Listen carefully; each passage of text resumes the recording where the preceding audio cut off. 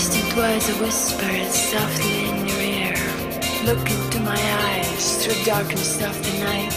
Passion grows inside of us, sharing in the light.